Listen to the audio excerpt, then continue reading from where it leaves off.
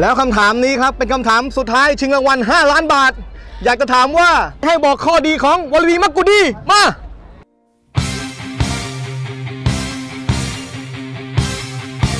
ถ้าถ้าถูกต้องนะครับคำตอบก็คือวลวีทำให้แฟนบอลชาวไทยสามัคคีกันนั่นเอง ใช่แล้วครับ สามัคคีกันไล่วลวีให้พ้นจากฟุตบอลไทยยังไงล่ะครับ